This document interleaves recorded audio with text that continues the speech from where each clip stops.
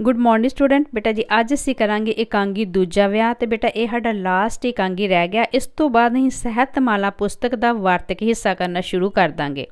ਬੇਟਾ ਪੜਨਾ ਸਟਾਰਟ ਕਰਦੇ ਆਂ ਕਹਿੰਦੇ ਕਿ ਦੂਜਾ ਵਿਆਹ ਇਕਾਂਗੀ ਪ੍ਰਿੰਸੀਪਲ ਸੰਤ ਸਿੰਘ ਸੇਖੋ ਦਾ ਲਿਖਿਆ ਹੋਇਆ ਹੈ। ਨਿਹਾਲ ਕੌਰ, ਮਨਜੀਤ, ਸੁਖਦੇਵ ਸਿੰਘ, ਸੁਖਦੇਵ ਕੌਰ ਤੇ ਗੁਰਦਿੱਤ ਸਿੰਘ ਇਸ ਇਕਾਂਗੀ ਦੇ ਮੁੱਖ ਪਾਤਰ ਹਨ। ਇਕਾਂਗੀ ਵਿੱਚ ਦੁਪਹਿਰ ਦੇ ਵੇਲੇ ਦੀ ਗੱਲ ਕੀਤੀ ਗਈ ਹੈ। ਦੁਪਹਿਰ ਵੇਲੇ ਮਨਜੀਤ ਚੁੱਲ੍ਹੇ ਤੇ ਰੋਟੀ ਬਣਾ ਰਹੀ ਹੈ ਤੇ ਇੱਧਰ ਉੱਧਰ ਸਮਾਨ ਲੈਣ ਵਾਸਤੇ ਜਾ ਰਹੀ ਹੈ।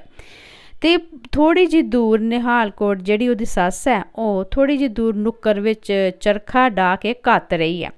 ਇਕਾਂਗੀ ਵਿੱਚ ਨਿਹਾਲ ਕੌਰ ਆਪਣੀ ਨੂੰ ਮਨਜੀਤ ਦੀ ਹਰ ਗੱਲ ਤੇ ਟੀਕਾ ਟੱਪਣੀ ਕਰਦੀ ਹੈ, ਕਹਿਣ ਦਾ ਮਤਲਬ ਨੁਕਸ ਕੱਢਦੀ ਹੈ ਤੇ ਉਸ ਦੇ ਕੰਮ ਵਿੱਚ ਨੁਕਸ ਕੱਢਦੀ ਰਹਿੰਦੀ ਹੈ। ਉਹ ਕਦੇ ਰੋਟੀ ਬਣਾਉਣ ਵਿੱਚ ਦੇਰ ਕਰਨ ਦਾ ਦੋਸ਼ ਲਗਾ ਕੇ ਉਸ ਵਿੱਚ ਨੁਕਸ ਲੱਭਦੀ ਹੈ ਤੇ ਕਦੇ ਕਹਿੰਦੀ ਹੈ ਕਿ ਉਹ ਘੜੀ ਵੇਖ ਵੇਖ ਕੇ ਕੰਮ ਕਰਦੀ ਹੈ।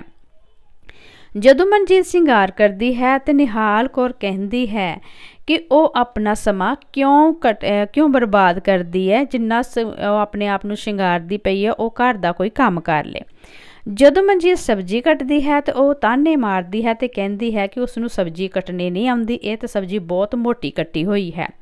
ਜਦੋਂ ਮਨਜੀਤ ਗਵਾਂਡਣ ਨਾਲ ਇਸਤਰੀ ਸਭਾ ਦੀ ਮੈਂਬਰ ਬਣ ਜਾਂਦੀ ਹੈ ਤਾਂ ਨਿਹਾਲ ਕੌਰ ਉਸ ਨੂੰ ਨੂੰ ਨਿਹਾਲ ਕੌਰ ਨੂੰ ਇਹ ਗੱਲ ਬਿਲਕੁਲ ਚੰਗੀ ਨਹੀਂ ਲੱਗਦੀ ਤੇ ਉਹ ਉਸ ਨੂੰ ਧਮਕੀ ਦਿੰਦੀ ਹੈ ਕਿ ਉਹ ਆਪਣੇ ਪੁੱਤਰ ਸੁਖਦੇਵ ਦਾ ਦੂਜਾ ਵਿਆਹ ਕਰ ਦੇਵੇਗੀ। ਪਰ ਮਨਜੀਤ ਉਸ ਦੀ ਕਿਸੇ ਵੀ ਗੱਲ ਦਾ ਬੁਰਾ ਨਹੀਂ ਮੰਨਦੀ ਤੇ ਉਹਦਾ ਬੜਾ ਸਤਿਕਾਰ, ਉਹਦੇ ਨਾਲ ਮਤਲਬ ਸਤਿਕਾਰ ਨਾਲ ਉਹਦੇ ਨਾਲ ਪੇਸ਼ ਆਉਂਦੀ ਹੈ।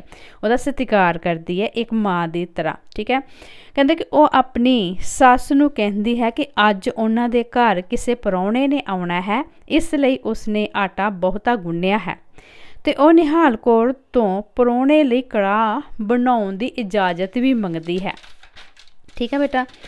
ਕਹਿੰਦੇ, ਪਰ ਨਿਹਾਲ ਕੌਰ ਉਸ ਦੀਆਂ ਸਾਰੀਆਂ ਗੱਲਾਂ ਉਤੇ ਦੋਸ਼ ਕੱਢ ਕੇ ਕੱਢਣੇ ਸ਼ੁਰੂ ਕਰ ਦਿੰਦੀ ਹੈ। ਅਸਲ ਵਿੱਚ ਮਨਜੀਤ ਨੂੰ ਪਤਾ ਸੀ ਕਿ ਅੱਜ ਉਸ ਦਾ ਪਤੀ ਸੁਖਦੇਵ ਸਿੰਘ ਆ ਰਿਹਾ ਹੈ। ਮਤਲਬ ਫੌਜ ਵਿੱਚ ਹੈ ਨਾ, ਤਾਂ ਉਹ ਆ ਰਿਹਾ ਵਾਪਸ। ਜਦੋਂ ਅਚਾਨਕ ਸੁਖਦੇਵ ਘਰ ਪਹੁੰਚ ਜਾਂਦਾ ਹੈ, ਤਾਂ ਨਿਹਾਲ ਕੌਰ ਉਸ ਨੂੰ ਦੇਖ ਕੇ ਬਹੁਤ ਹੈਰਾਨ ਹੋ ਜਾਂਦੀ ਹੈ। ਸੁਖਦੇਵ ਮਨਜੀਤ ਨੂੰ ਇਸ ਦੀ ਸੌਰੀ ਮਨਜੀਤ ਸੁਖਦੇਵ ਨੂੰ ਉਸ ਦੀ ਇੱਛਾ ਅਨੁਸਾਰ ਉਸ ਦਾ ਨਾਂ ਲੈ ਕੇ ਬੁਲਾਉਂਦੀ ਹੈ, ਪਰ ਨਿਹਾਲ ਕੌਰ ਨੂੰ ਇਹ ਗੱਲ ਚੰਗੀ ਨਹੀਂ ਲੱਗਦੀ। ਕਹਿੰਦਾ ਮਤਲਬ ਜਿਹੜਾ ਸੁਖਦੇਵ ਹੈ, ਉਹ ਕਹਿੰਦਾ ਕਿ ਤੂੰ ਮੈਨੂੰ ਮਤਲਬ ਮੇਰਾ ਨਾਂ ਲੈ ਕੇ ਬੁਲਾਇਆ ਕਰ, ਕਿਉਂਕਿ ਉਹ ਥੋੜਾ ਮਾਡਲ ਮਤਲਬ ਦਿਖਾਇਆ ਗਿਆ ਹੈ, ਕਿਉਂਕਿ ਨੌਕਰੀ ਕਰਦਾ ਉਹਦੇ ਵਿਚਾਰ ਥੋੜੇ ਪੜ੍ਹੇ ਲਿਖੇ ਵਾਂਗਦੇ ਆ। ਤੇ ਉਹ ਮਨਜੀਤ ਨੂੰ ਕਹਿੰਦਾ ਕਿ ਤੂੰ ਮੇਰਾ ਨਾਂ ਲੈ ਕੇ ਬੁਲਾਇਆ ਕਰ, ਪਰ ਨਿਹਾਲ ਕੌਰ ਨੂੰ ਇਹ ਗੱਲ ਚੰਗੀ ਨਹੀਂ ਲੱਗਦੀ।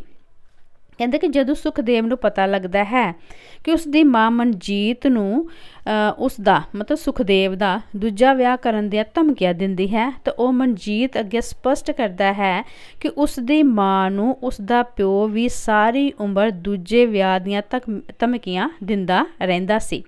ਇਸ ਲਈ ਉਹ ਸਮਝਦੀ ਹੈ ਕਿ ਨੂੰ ਨੂੰ ਕਾਬੂ ਵਿੱਚ ਰੱਖਣ ਲਈ ਉਸ ਨੂੰ ਮਤਲਬ ਜੇ ਉਹਨੂੰ ਨੂੰ ਨੂੰ ਕਾਬੂ ਵਿੱਚ ਰੱਖਣਾ ਹੈ, ਤਾਂ ਉਹਨੂੰ ਆਪਣੇ ਪੁੱਤਰ ਦਾ ਦੂਜਾ ਵਿਆਹ ਕਰਾਉਣ ਦਾ ਡਰ ਦੇਣਾ ਜ਼ਰੂਰੀ ਹੈ।